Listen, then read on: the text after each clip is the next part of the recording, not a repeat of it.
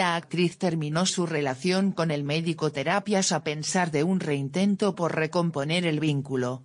Julieta Cardinali terminó su relación con Luis Cantaluppi. La actriz y el médico terapista estuvieron en pareja durante cinco años, atravesaron una fuerte crisis poco más de un mes atrás, luego reintentaron recomponer el vínculo pero no lo lograron.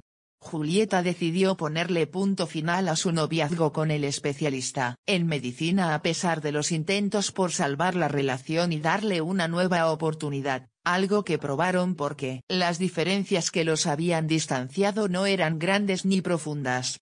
Sin embargo, no funcionó y ahora Cardinali y Cantaluppi siguen sus caminos con distintos objetivos aunque todavía se siguen en redes sociales. Incluso, en el entorno más cercano a Julieta ya están al tanto de la triste noticia pero prefieren que no se hable del tema. No diría que es definitiva, se dijo a comienzos de julio. Porque la situación, por entonces, no estaba cerrada.